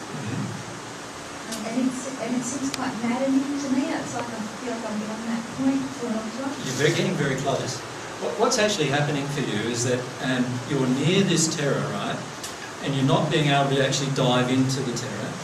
And one thing that will help you do that is from now on to just keep telling yourself that you are terrified. In other words, have the at least make the intellect now acknowledge this feeling that's there. And the more you acknowledge the feeling that's there, you'll get to a point that eventually you'll be able to experience the terror. It might be a week, might be two weeks, you know, it might be a month, um, but you, you will get to the point where you experience the terror. The key is to be patient with yourself. Remember, this terror is a big emotion. It's like a mountain for most of us. It's like a big monster that's going to kill you. And so the key is to just be honest about what the emotion is.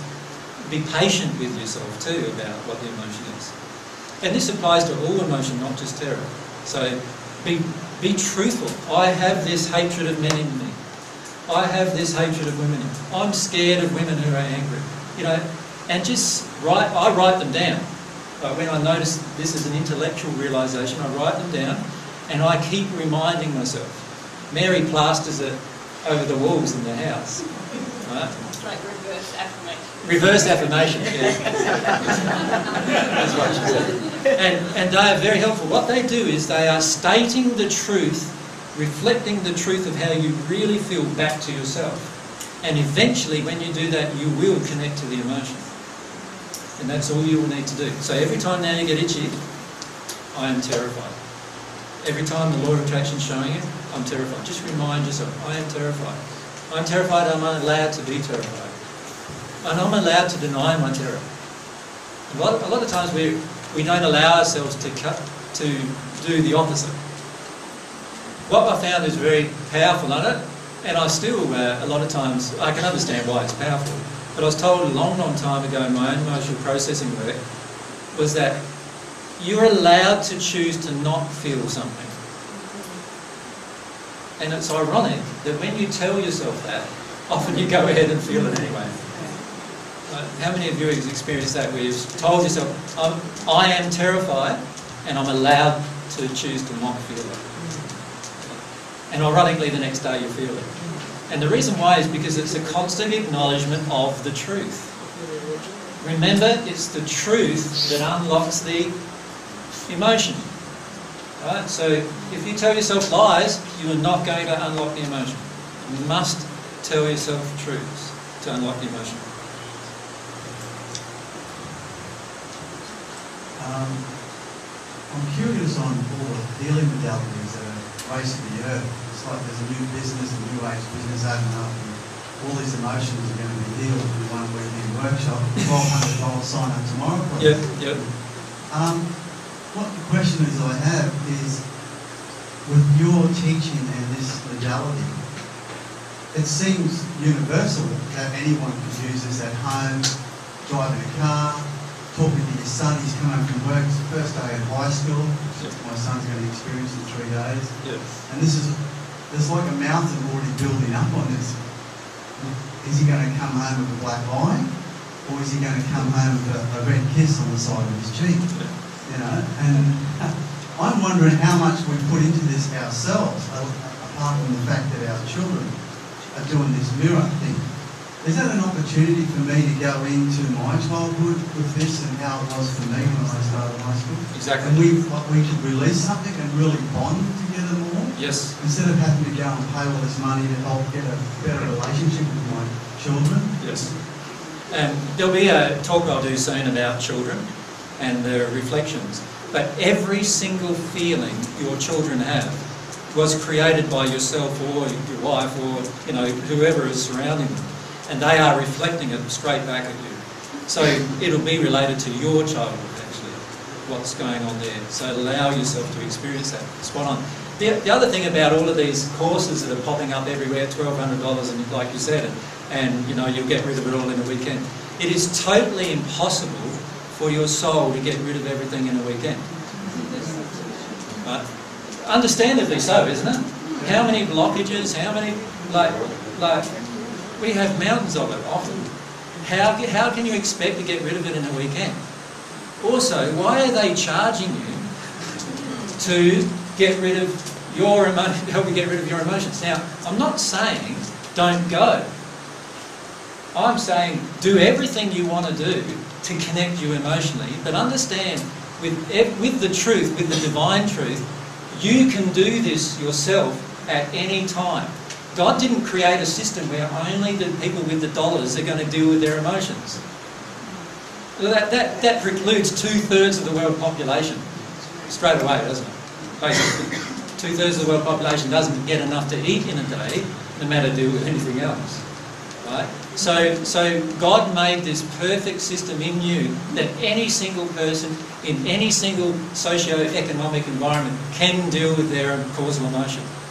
And that's very, very important for you to understand. So I'm not saying don't go to these courses. You may learn things there, or many times more importantly, you may connect with people there who help you deal with your law of attraction emotions. But let yourself do this on a daily, hourly basis. Watch yourself going through this process, and you'll find you won't need those things. It becomes so simple in the end. All you need is your interactions.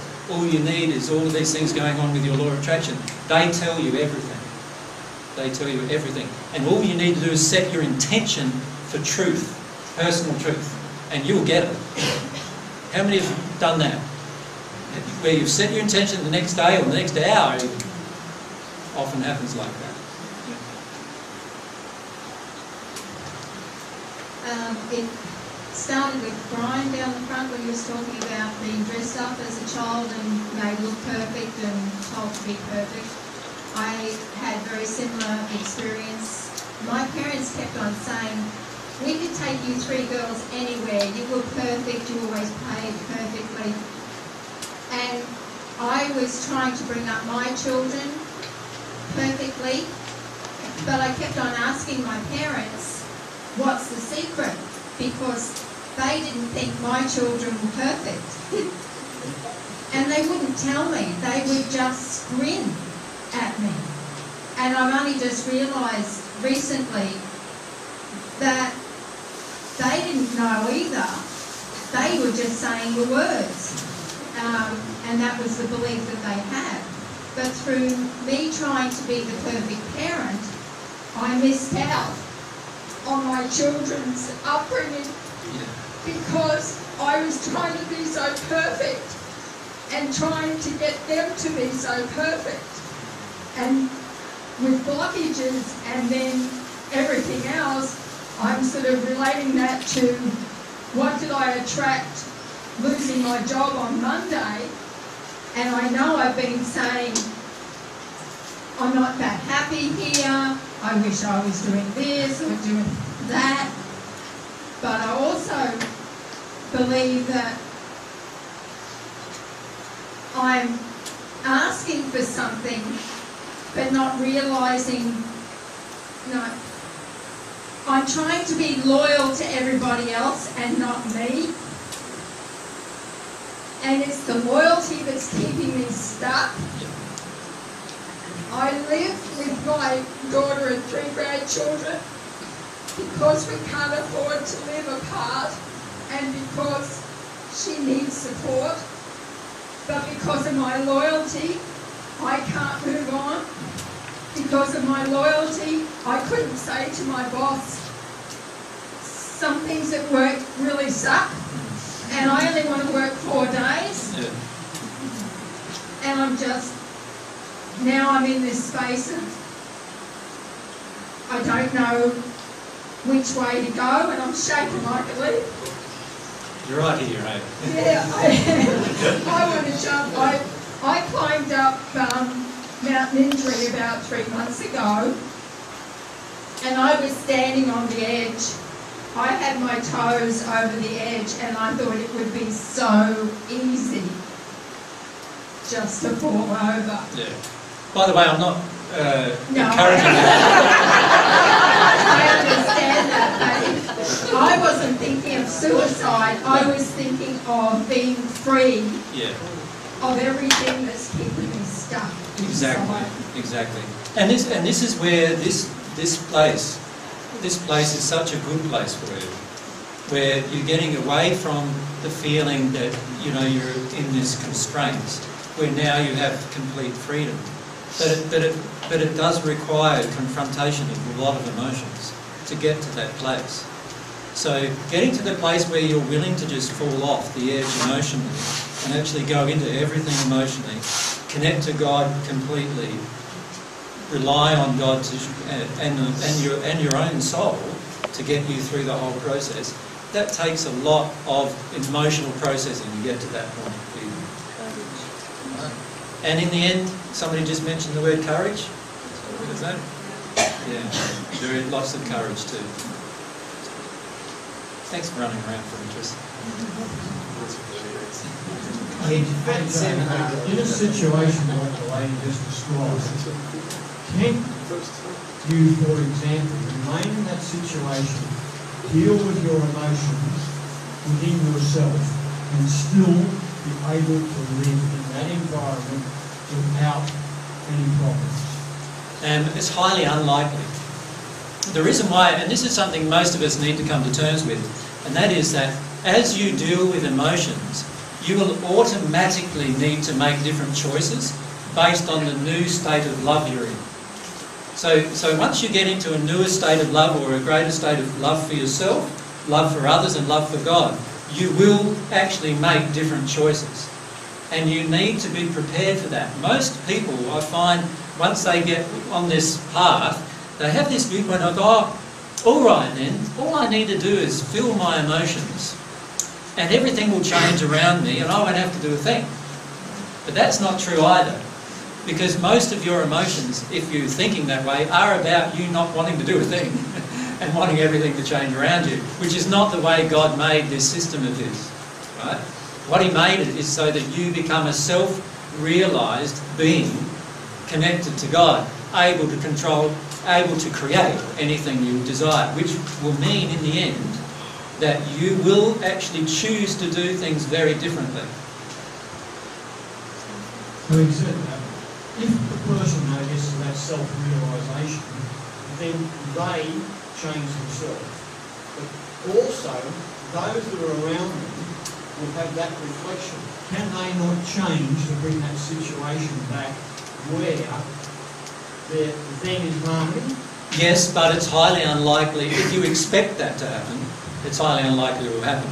The reason why is because if we're expecting things of other people, then then obviously, um, you know, there's a problem or a, a feeling inside of ourselves that needs to be released. But you are right in the sense that if I change my stuff inside of me, the people around me will begin to change as well.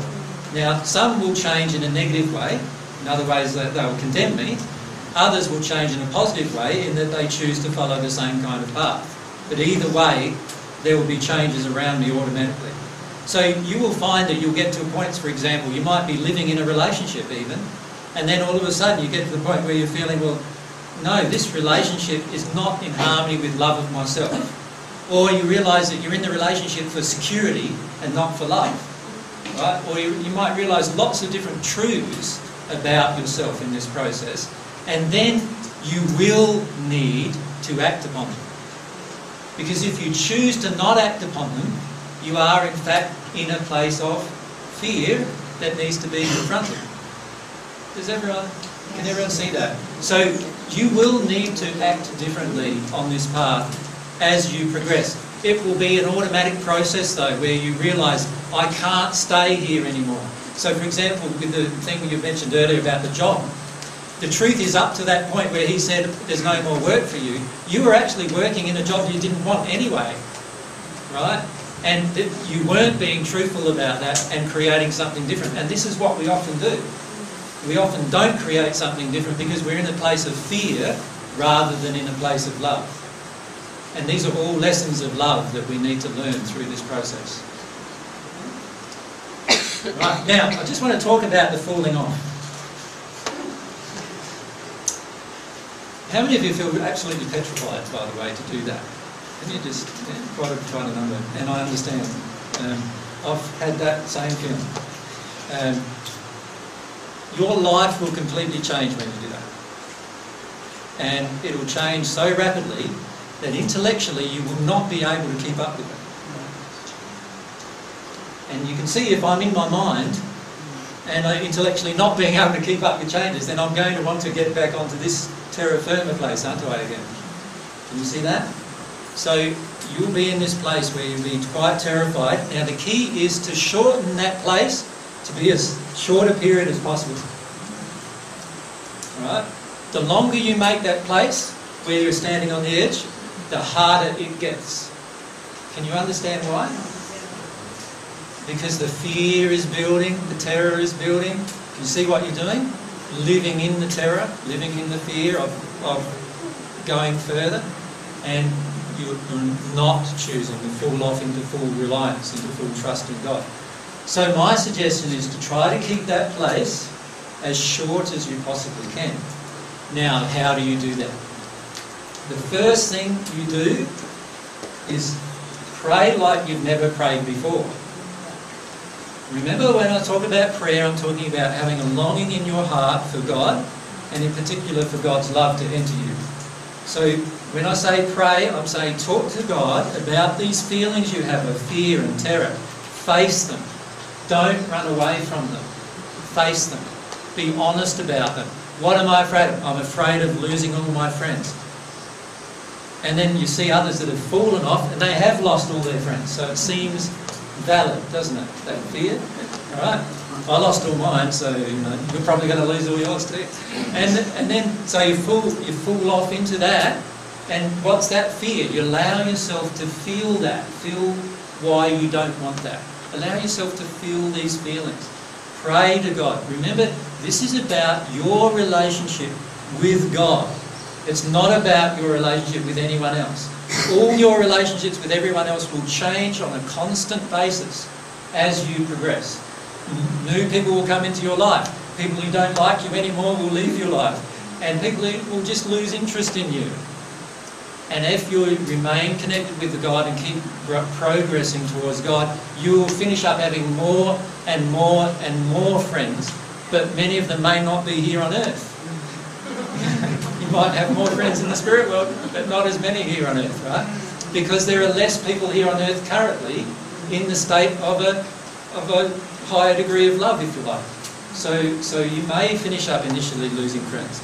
But then you'll find after a while, things will start changing and more and more people will start being attracted to you because they see this love being reflected in your life. They see your joy and so they then feel it's contagious and they want to know. And then things will start shifting in another direction as you've dealt with those causal emotions inside of yourself that caused the rejection in the first place. But if you don't connect to God, you're going to feel totally alone totally alone. And that's why your connection with God is so important, because when you've got that, you are never alone. Right? And this is the area where your connection with God is going to be tested. And when I say tested, what I mean is that you're going to have to put your full reliance in God to get beyond that point. And every one of you will face that point. Every single one. Some of you may have felt like you've already faced that point. Right? But every single one of you will face that point. So pray, talk to God about where you're at, be honest and truthful. And that's the second thing, is always focus on the truth. God created my soul, basic truth this is. God created my soul, therefore God knows how to protect me. I am his child, therefore God knows how to protect me. No, but you're, you're thinking it, not feeling it. There's a big difference between being in this state here and being in this state here. Look at your law of attraction. Your law of attraction, remember, tells you the truth of where you really are, not where you think you are. Many of you will think that you're in a better condition spiritually than you really are. That your law of attraction is telling you something totally different and you're ignoring it. Many of you are in that condition. Allow yourself to see the law of attraction as your truth. That is the truth being reflected back at you, telling you that there's an issue here, there's an issue there, and so forth. Right? Does that make sense to everyone? Because it's really important that you see the truth not from your perspective, but from God's perspective. Truth that I feel like I'm missing something with the way that God's creating creating souls. And say for example, you know, they, they are in a pristine state and that they could end up in the Gaza Strip or end up in America or in my case, you know, incarnating and experiencing these these things. And you know, I know you've said there's a mathematical, mathematical equation, the law of attraction, but I know that I'm missing something that, and I'm not trusting that, you know, we're getting stuffed in here to experience all this from, from a pristine place. Yeah. And why he continues with that. Or is that, then I sort of come to the point, well, it's all free will, but I know, I know I'm missing something. Yeah, the, the issue you haven't faced yet emotionally is that man has created this environment, not God. See, but most of it, most of us don't face the fact that what we blame God for really, man is the creator, not God. There are lots of things in the universe God didn't create. One of them is like a wars. God doesn't create them. Man creates them by their choices. Right? God created the potentiality of them existing, That's all. By giving man free will. And there's a soul feeling that you need to connect with about that. So there's a feeling inside of you towards God that God shouldn't have done that. And that's, so go into that emotion. Allow yourself to feel about that. Get enraged with God if you need to. Get out in the punchy bag and, the- and yell and scream and swear at God about Him creating this system.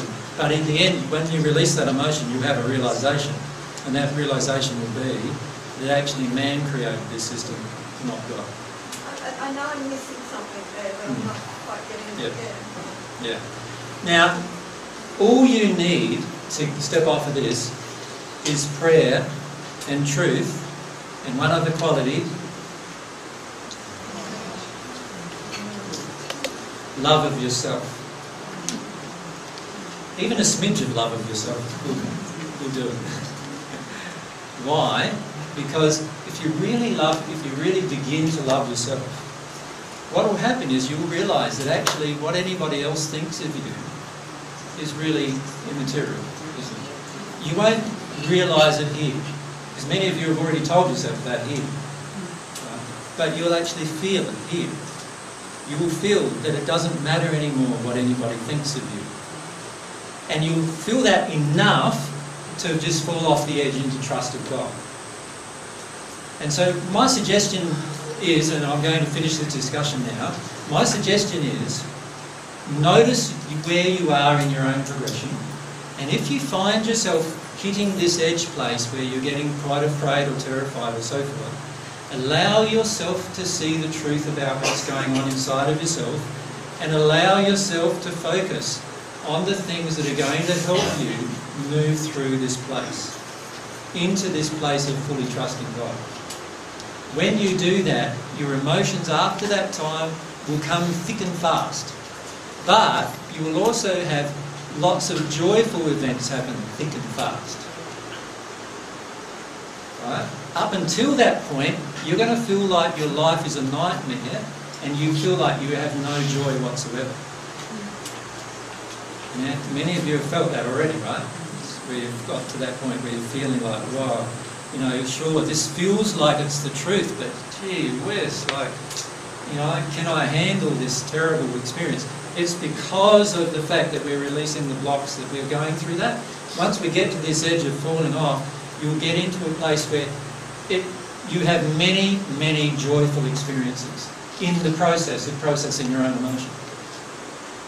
But before that time, most of the time it gets to be a bit nightmarish when it comes to dealing with your emotion. So the reason why I wanted to discuss that with you today was because I wanted to give you forewarning of what will be coming up in your lives if you choose to keep following the path of divine love. And what I'm finding is that many have ran away before I've had the chance to tell them or warn them of what might happen.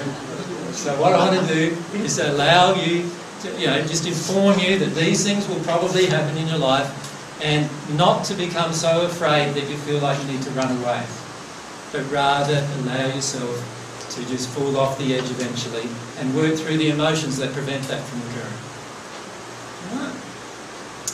Well, time for a break, I think, huh? So uh, we'll come back about 3.30ish, um, and the discussion is reincarnation. Why you guys take a long half-hour break? Yeah. I hate to employ you.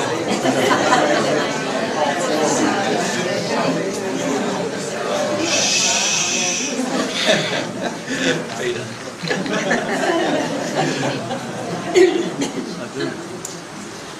All right. Um, this session is about reincarnation, and uh, it sounds like a very non-emotional subject to discuss, perhaps.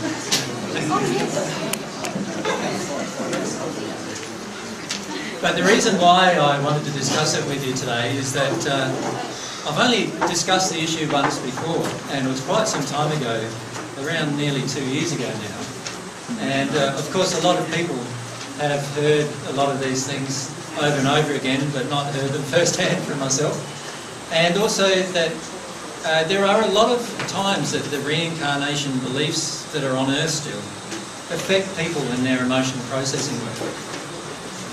And so I wanted to discuss this issue with you quite a lot. one of the other reasons I wanted to discuss the issue too is that for many people, the belief in reincarnation is actually preventing them from accessing their core emotions.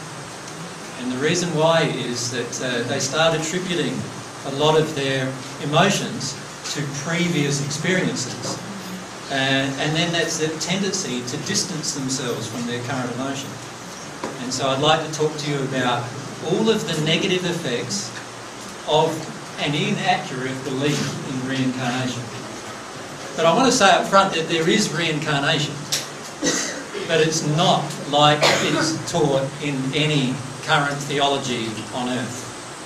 And um, it's very important at some point for you to understand it if you want to progress to the soul union state of the uh, in the spirit world. And it's very important to understand some of the limitations, or lots of the limitations actually, that exist around the current beliefs that are on earth. And uh, how much of the current beliefs are unloving, in fact. And we'll talk about that during this discussion. Now, everyone should have been given a bit of a handout, which is basically just the notes that I've written in summary of what we will discuss. And I also emailed to everyone uh, a very long document, a 100-page document, uh, I think it was, uh, which you can read if you want, which discusses more things in detail than what I'm going to mention today. So you enjoy that, Gareth? That's good. Yeah. The the important thing with all of this discussion is that that I'd like to say up front is it is not important if you believe in reincarnation or not. That's a, I'll say that again. It is not important whether you believe in reincarnation or not. What is important is that you understand the importance of processing and being in your emotions if you want to connect with God. Your belief in reincarnation, if you have one, will change markedly over your, your progression. And I can guarantee to you, in fact, that you'll get to a point in the eighth sphere of the spirit world, or here on earth, if you get to that point here on earth, that your belief in reincarnation will be almost completely different to a belief that you, you may have had at some time before here on earth, you know, up until we've met, perhaps. And I know for many of you that many of you still have a strong belief in reincarnation. And, uh, and that is your prerogative, and I'm not here to condemn that. I'm just here to state what the truth is about. And and a lot of people project straight back at me, they think, oh, well, that's your truth. And I can say to you categorically that you will find at some point that what I will present to you is actually God's truth about reincarnation. But that being said, you are totally entitled to have your own belief. And my suggestion is, even after this discussion, if you still have that belief, don't neglect your emotional work. Don't put off dealing with your emotions just because you don't agree with this subject or what I'm going to present on this subject. Does that sound fine? Yes. Okay. So that being said, how many of you feel that reincarnation still, you know, general reincarnation as it's taught in, say, Hindu and Buddhist philosophies and New Age philosophies, you still feel very drawn to that teaching? How many of you feel that? So there's some. Okay. How many of you are starting to feel like it doesn't really matter anyway? Right? Okay. So a lot, lot of you are feeling that way. So why are we here?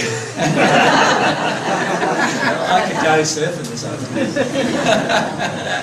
no, just joking. Do I need to explain, in the outline that I've given you of the introduction explains what the beliefs of reincarnation are. Do I need to explain those things to you? Or do you feel fairly firm about that you understand the differing beliefs in reincarnation that are on earth? Can you see how many different religious formats on earth believe in this belief of reincarnation? Um, notice I put it there in the introduction.